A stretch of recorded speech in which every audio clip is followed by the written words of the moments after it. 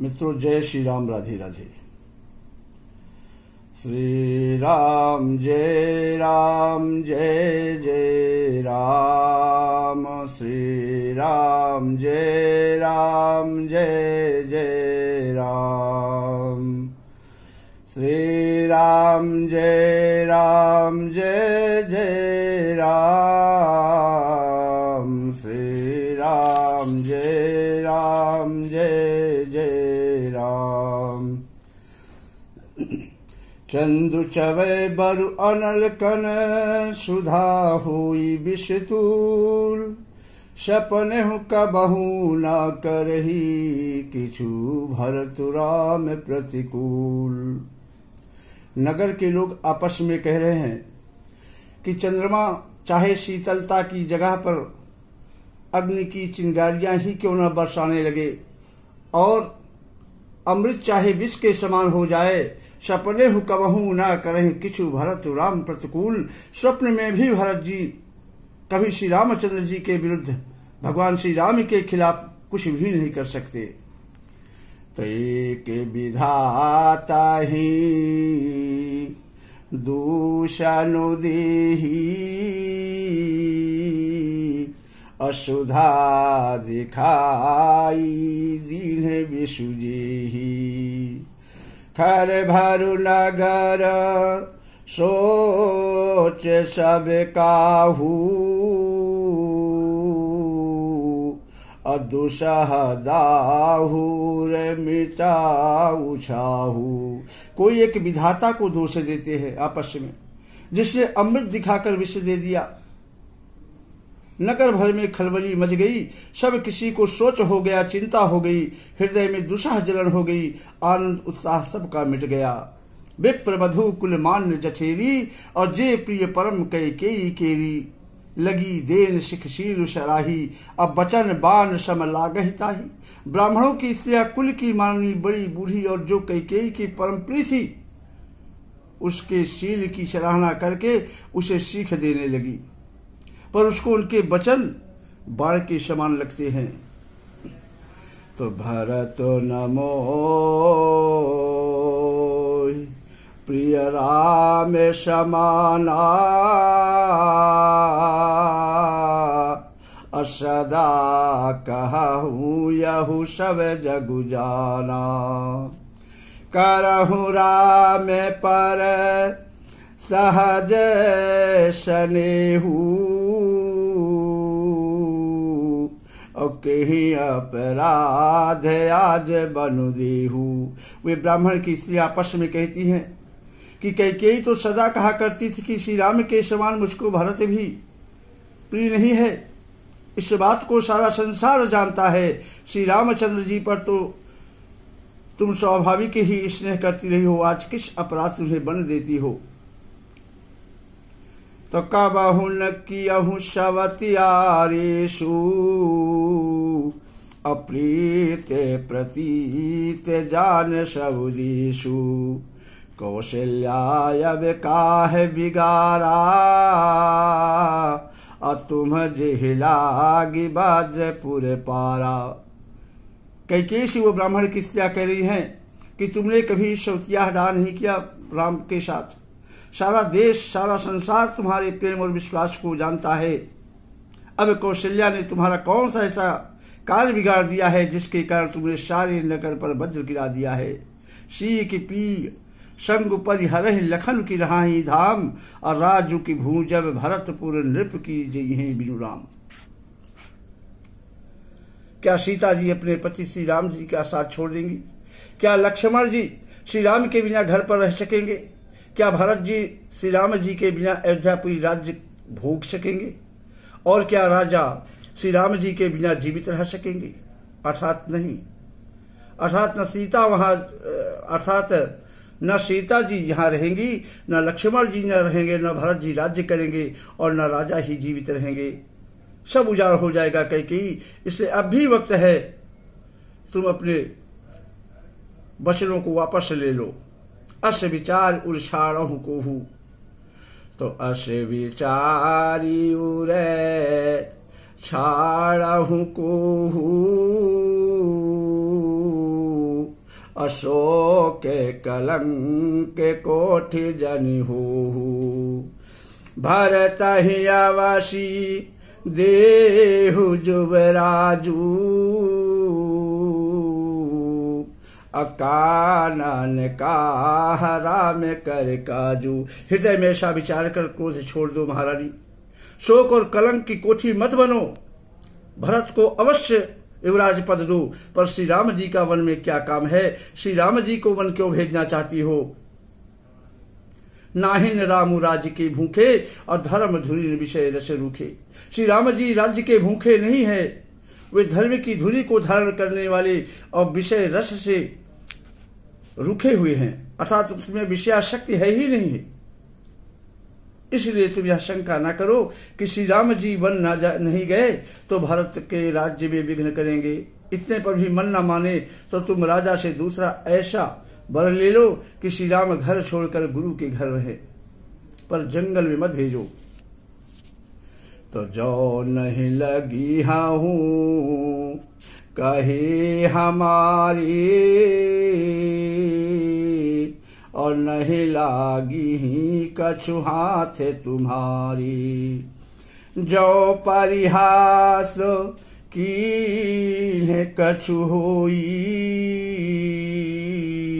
अतो कही प्रगट जना वहु सोई। जो तुम हमारे कहने पर नहीं चलोगी तो तुम्हारे हाथ कुछ भी नहीं लगेगा। यदि तुमने कुछ हँसी, यदि तुमने कुछ हँसी की हो तो उसे प्रकट में कहकर जना दो कि मैंने दिलगी की है, मैंने हँसी की है। राम सरिस सुत कानन जोगू, अकाह कह सुन तुम कहू लोगू। उठहु बेग सोई करहु पाई, जय विध शोक कलंक नसाई। हे महारानी, राम सरीखा पुत्र क्या वन के योग्य है, तुम ही बताओ। यह सुनकर लोग तुम्हें क्या कहेंगे? जल्दी उठो और वही उपाय करो, जिस उपाय से शोक और कलंक का नाश हो सके। जय भांति शोक, कलंक जाई उपाय कर कुल पा रही। हट फेर राम जात मन जान।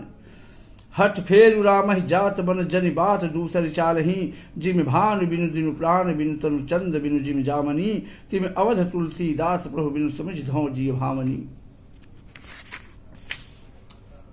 जिस तरह शोक और कलंक के मिटे वही उपाय करो। कुल की रक्षा करो। वन को हुए श्री राम जी को हट करके लौटा ले। दूसरी कोई बात नहीं चला।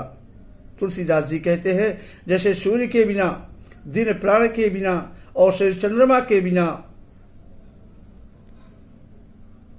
वैसे श्री रामचंद्र जी बिना अयोध्या हो जाएगी। श्री रामचंद्र के बिना ये अवध हो जाएगा। हे भावनी हे महारानी, तू अपने हृदय में इस बात को अच्छी तरह से विचार कर लो, अच्छी तरह से समझ लो। तो सखी ने सिखावनु दीन सुनत मधुर परिणाम हित, ते कछुका न कुटिल प्रबोधि कुबरी। इस प्रकार सखियों ने ऐसी सीख दी महारानी कैकी को, जो सुनने में मीठी और परिणाम में हितकारी थी।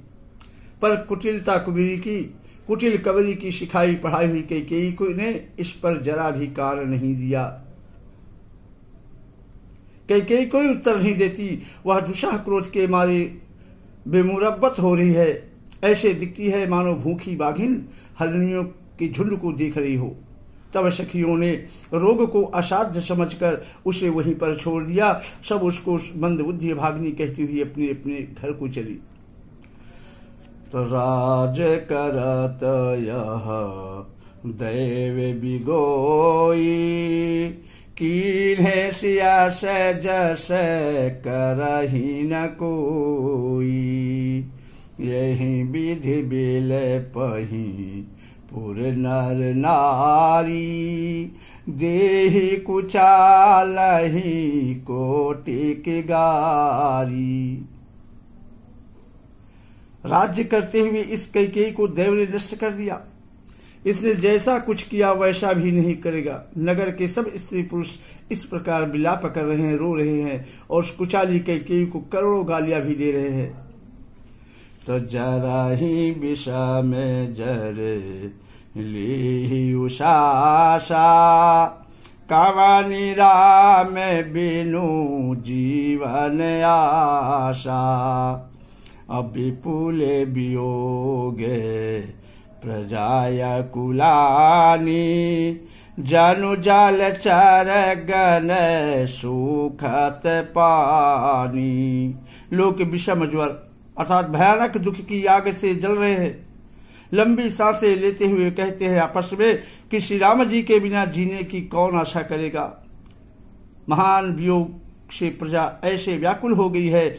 मानो पानी सूखने के समय जलचर जीवों का समुदाय व्याकुल हो जाता है। तो अति विषाद बस लोग लोगाई। गए मातु पहिराम गोसाई। मुख प्रसन्न चित चौगुण चाऊ। अमिटा सोच जन राख प्यारे, सभी पुरुष और स्त्री अत्यंत विषाद के वश हो रहे हैं। बहुत ज़्यादा दुखी है। स्वामी श्री राम की माता कौशल्या के पास गए। उनका मुख अत्यंत प्रसन्न है और चित्त में चौगुना, चाव और उत्साह है। यह सोच मिट गया कि राजा कहीं रख न ले। श्री राम जी को रास्तिलक की बात सुनकर बड़ा विषाद हुआ था। कि सब भाइयों को छोड़कर बड़े भाई, मुझको ही रास्तिलक क्यों होता है? अब माता कैकेयी की आज्ञा और पिता की मौन सम्मति पाकर वह सोच भी मिट गया।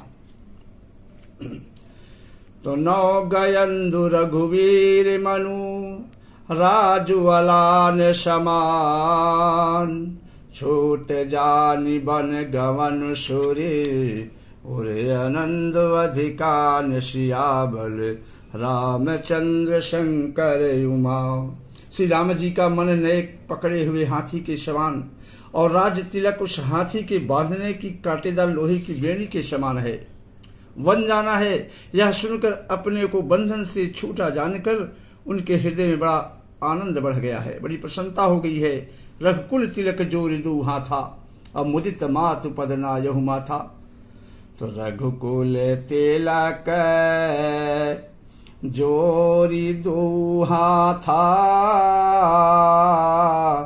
अमुदित मातु पदना यहु था दीन है आशीष, लाई उरलीन है। अभूषण बसन निछावर की ने रघुकुल तिलक श्री राम जी ने दोनों हाथ जोड़कर आनंद के साथ अपने माता के चरणों में सिर झुकाकर झुकाया। माता ने उनको आशीर्वाद दिया और अपने हृदय से लगा लिया और उन पर गहने तथा कपड़े नौछावर भी किए। तो बार बार मुख चुंबती माता और नयनों ने जल पुलकित गाता तो गोद राखी पुनी हृदय लगाई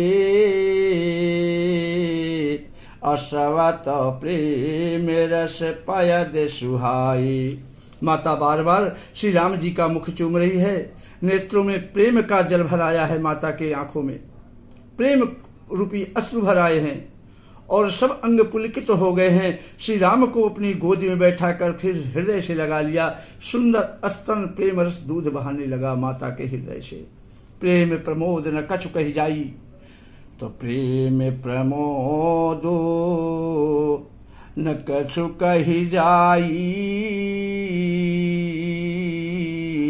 और रंग के धनत पदवी जनु पाई। सादर सुंदर बदन निहारी। अबोली मधुर बचन महतारी। उनका प्रेम और महान आनंद कुछ कहा नहीं जाता।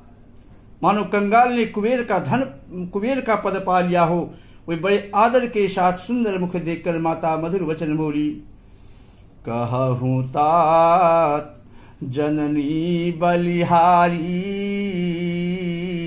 अकबही लगन मुद मंगलकारी, सुकृतशील सुख, शिव सुहाई अजनम लाभ गई अवधेय घाई। हे तात, हे पुत्र, माता बलिहारी जाती है, कहो वह आनंद और मंगलकारी लग्न कब है? जो मेरे पूर्ण शील और सुख की सुंदर सीमा है और जन्म लेने के लाभ की पूर्णतम अवधि है। माता कौशल्या प्रभु श्री राम से पूछ रही है, जय श्री राम राधे राधे। श्री राम जय राम जय जय राम। श्री राम जय राम जय जय राम।